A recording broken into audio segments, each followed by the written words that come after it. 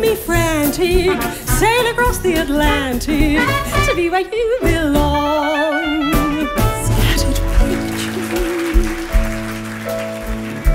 of the smiles we left behind, smiles we gave to one another.